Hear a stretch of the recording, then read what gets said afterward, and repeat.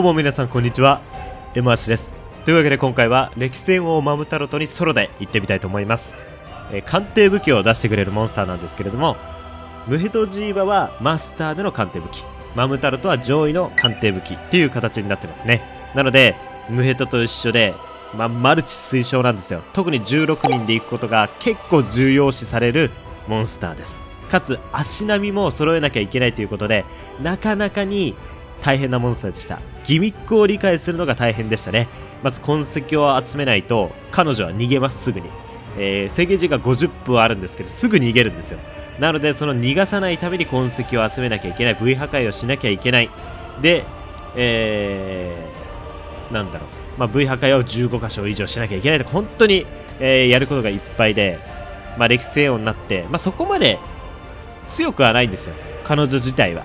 そこまでモンスターとしてのレベルは高くはないんですけれどもそれ以上に、まあ、覚えなきゃいけないことっていうのがすごく多いモンスターでしたねというわけで今回はマスター装備で、えーかなり火力が上がってますので意外と楽に周回できるんじゃないかなと思いますので、えー今日はもちろんランスでねいつものようにランスで行ってみたいと思いますはい、それではやっていきましょう。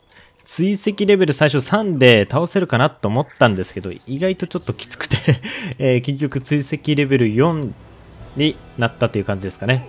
と言ってもこれでもまだ倒せるかどうか分かってないんですけど、えー、っと、止まるんじゃない？そこ。止まらない？止まってほしいな。止まって、止まるね。素晴らしい。で、えー砲術レベル2をつけてますので、この大砲の弾の威力が2倍になってます。で、2倍で900なんですよね。だから元が450と、まあ、結構マムタロットに対してバカは、まあ、通る設定というか、あ、ここ打っといた方がいいな。OK。そしたら次がまたすぐ移動したような気がするんだよな。これ上に行く必要なかったな。なかったな。ダウンになるので、よし。当たれ。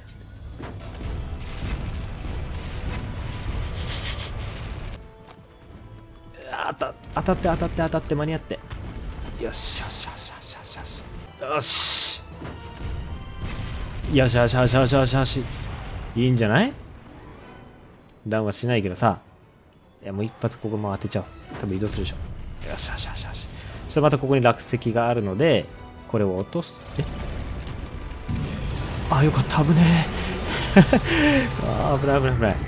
よしいいダメージ V 破壊もちょっとできてるね。ほんとちょっとだけだな。1箇所ぐらいしかできてないね。うー、きついきつい。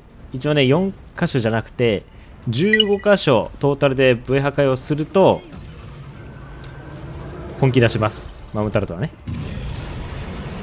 セット。はいセット。よし。で、えーこの大団長が1、逐一ね、えー いろいろ教えてくれるんですけど、黄金の破壊はもう十分だっていう表示が出たら、あのー15箇所以上 V 破壊できましたよっていう合図になります。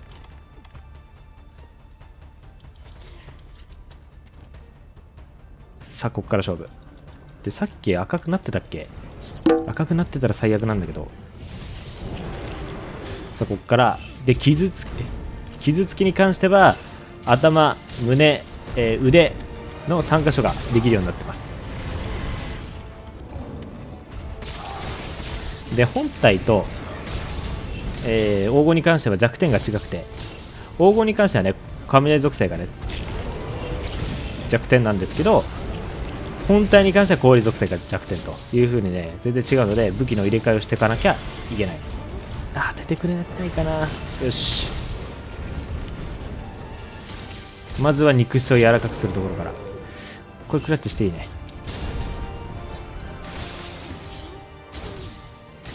さあ、胸も早々に破壊したい。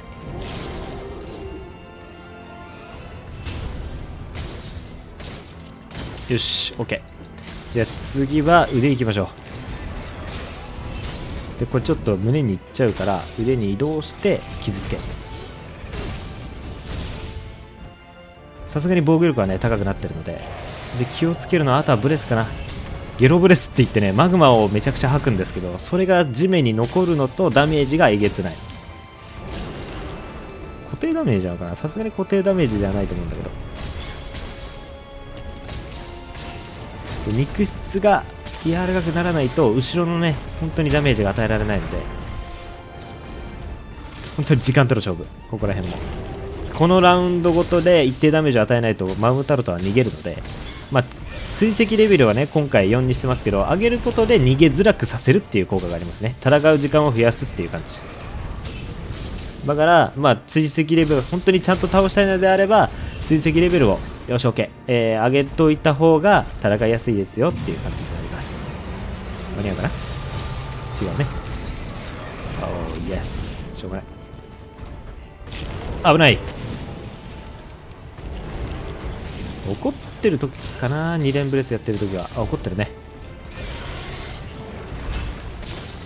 早く早さっき多分ね腹痛を使ったタイミングで多分肉質柔らかくなってましたね。ここまで時間かかるってことは。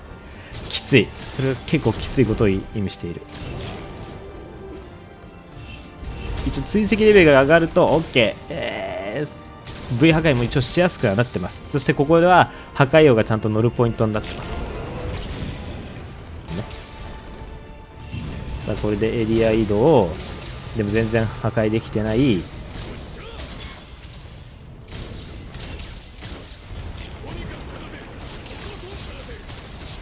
さあミキスが柔らかくなってないとな。全然ダメージが倒らないからな。27しかいない。これねちゃんと肉質が通っていれば柔らかくなっていれば一発70とか80とか出るようになります。落石を狙っていきましょうね。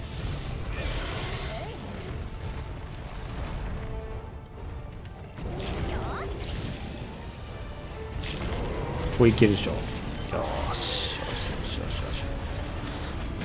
あ柔らかくなってる。オッケーオッケーオッケーオッケー。いつの間に。よしこんな風にねめちゃくちゃ柔らかくなってる時はすぐ V 破壊ができると。さあここから時間の勝負。研ぎたいな。潜ったら解こうか。あ潜ったね。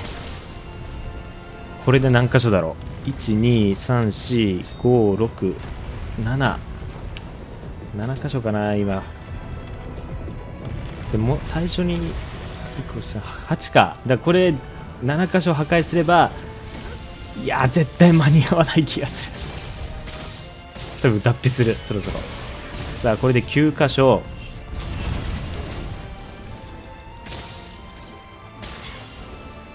まだ時間はある。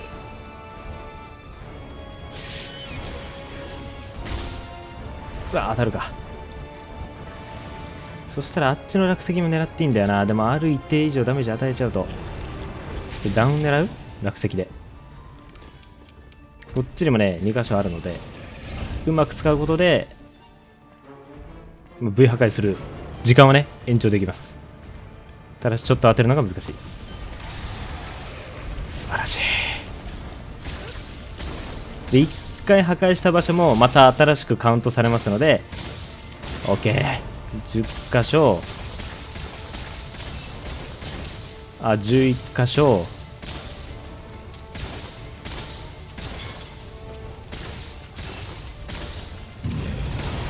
さあ怒っていや脱皮しそう。まだ OK いけるか。もう一回来るでしょ。しょうがない。脱皮しそうなんだよなもう少しで。さあこっちを向いてベイベー。でちょっとそこで位置を調整してここで当てると。素晴らしい。素晴らしいよ。さあこれで12箇所かな？13かな？あと胸胸いけば。胸早く割れて。どこ当たってんだろう？うわ胸壊れてるよ。あー、間に合わなかった。くそ。きちー。一応これがね、脱皮状態なんですけど、うわー、14ぐらいじゃなかった、今。くそ間に合わないか。これが一番きつい。本当に。多分マムタロドを倒すよりも、なんだろう、狂乱状態、怒り、怒り荒ぶる状態かな。怒り荒ぶる状態することが一番ハードルが高い気がします。まあ、しょうがない。で、最終ラウンドに関しては頭を破壊すれば勝ちという感じになりますね。で、頭部にダメージを与えなきゃいけないんですけど、その頭部を与えなきゃいけないのに、破壊か。破壊しなきゃいけないのに破壊王は乗らないと。なので、純粋なダメージを与えないと、マムタロトには勝てないという感じになってます。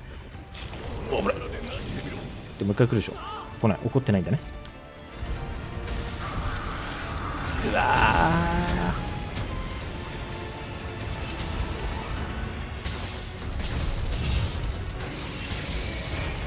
危ない。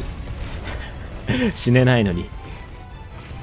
まあこれで転覆が発動するからまあいいでしょさあこっからうまく立ち回っていかなきゃ。さあこれはいける。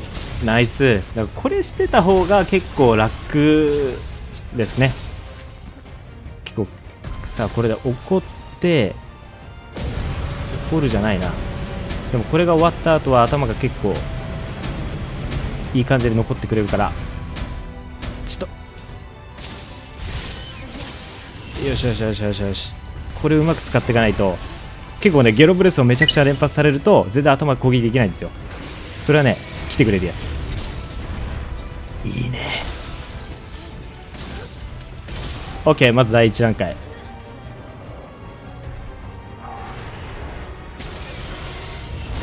これで頭ちょっと無理やりだけど移動しどこ移動してんの？うわもしかして頭いけない感じなのかな？危ない。さあこれをね連発されると結構きついんですよ。何もできないここからは。ずるいよね。このこのコンボずる。これ残るからで上からも落ちてくる。それはこれこれでいこう。強打のソイも来たいな。そこちょっと範囲が広いからしっかりガード。いいよ。うわー。よくばった。さあ落ち着いて落ち着いて。突進してくるやつ。うわーちょっとなんか入力しちゃったな。でもちょっと頭当たったからいいや。いいね。でも頭当たってないよ。頭以外はあんま意味ないのでもう。当たってる？それ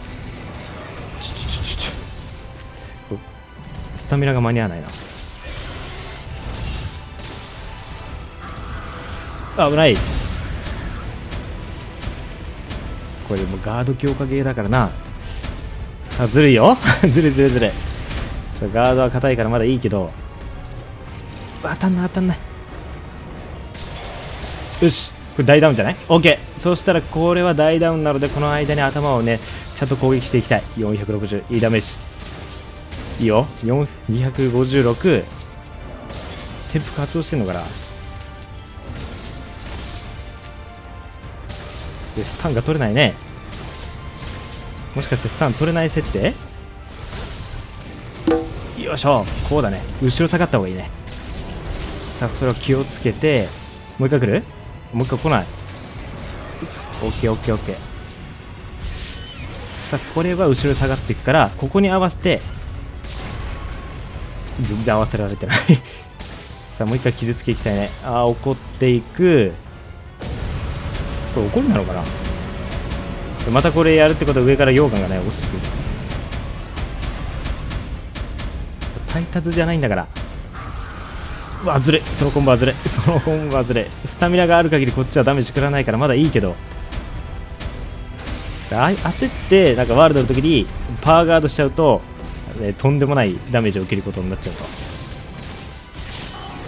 いいんじゃない？傷つきをしておきたいけどね。こういう時に。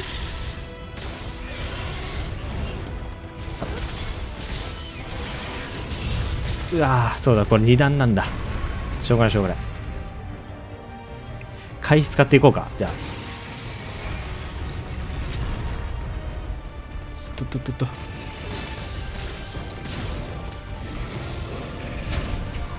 あ二段なんだよ何に今働いてんだろう回避が。今違えた。よーし。OK こんな感じで、ね、倒せないんですよマムタルトは。あの、角だけの破壊になっちゃいます。こんな感じだから、ワールドからね、ずーっとこの状態なので、アイスボーンになってね、やっとマムタロとかで倒せるんじゃないか、やっと殺せるんじゃないかってみんな楽しみにしてたんですけど、今のところ来てないと。で、えー一応マムタロットの鑑定武器っていうのは、まあ、こういうね、角からの剥ぎ取りとか、えー、まあ、マム、えーなんだっけ、ムヘトジーバと一緒ですね。最後の報酬で武器がもらえるじゃないですか。あれみたいに、マムタロトも鑑定武器っていうのがあって、まあ、そこで、いろいろね、いい武器とかが、ワールドの時だったら結構、まあ、一番強い武器とかが手に入ったんですよ。タッチとかね。ランスは、まあ、まあ、ランスもあったんですけど、ランスはそこまでレアリティの高い武器ではなかったので、一番強い武器が。レア7の武器かな。マックスがレア8の武器なんですけど。で、まあ、ワールドになっ、アイスボーンになってか。アイスボーンになって、もう使う機会がなくなっちゃったけどどうなのっていう時に、まあ一応、辻元プロデューサーに関しては、なんだっけ。なんか言ってたんですよね。一応何かしらの救済を与えるみたいなことは言ってた気がするので、まあ一応捨てずに持っといた方がいいですね。もしかしたら、マムタロトのマスター版、まあ倒せるママムタロトが来るのか、それとも、まあ何かしらのね、ムヘドジーバの素材とかにかん、まあ変換することができるのか、わかんないですけど、まあとりあえずやっといた方がいいのかなと思います。というわけで、えー最後までご視聴ありがとうございました。次の動画でお会いしましょう。またね。